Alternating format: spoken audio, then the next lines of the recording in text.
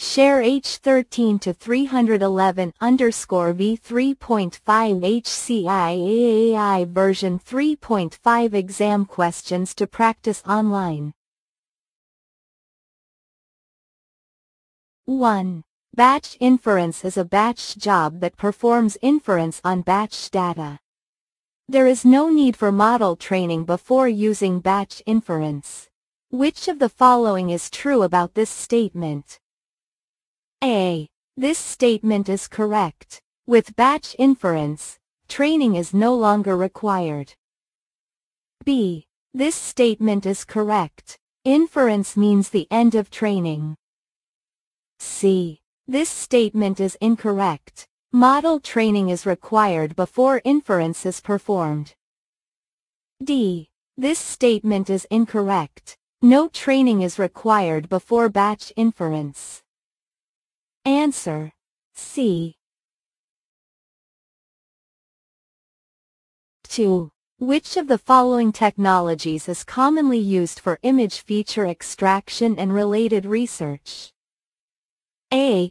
Convolutional neural network. B. Naive Bayes classification algorithm. C. Long short-term memory, LSTM, network. D word2vec. Answer. A. 3. Consider a scenario where a machine learning algorithm is used to filter spam. According to the definition of machine learning, which of the following describes the experience E? A. Spam filtering. B. Accuracy of spam filtering. C. All tagged spam and genuine emails in the past three years. D. Email addresses. Answer. C. 4. A computer uses labeled images to learn and determine which images contain apples and which contain pears. Which of the following types of machine learning is most applicable to this scenario? A. Supervised learning. B. Unsupervised learning. C. Semi-supervised learning.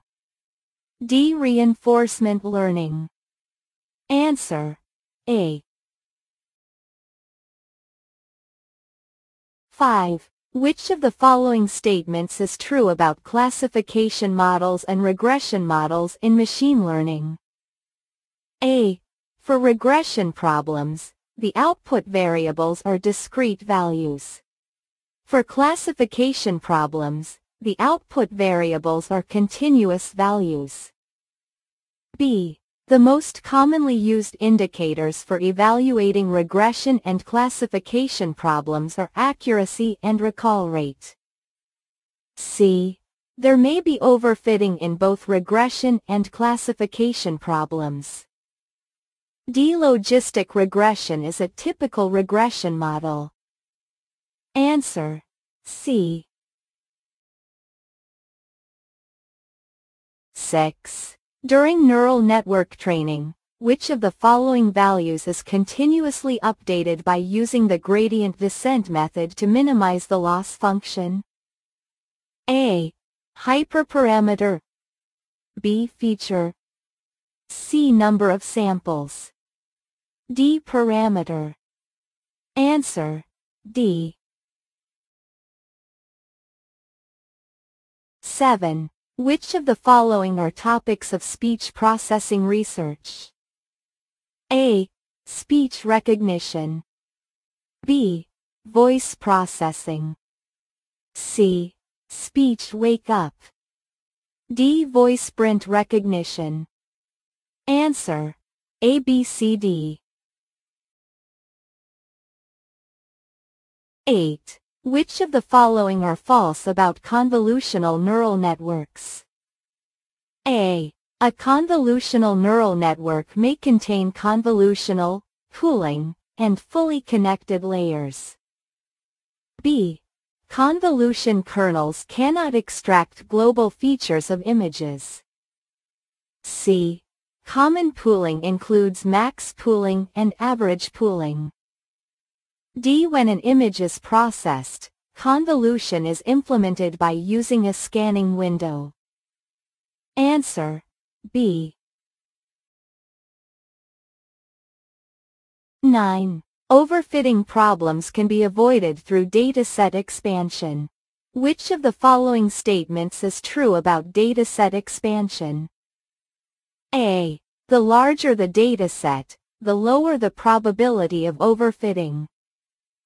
B. The larger the dataset, the higher the probability of overfitting.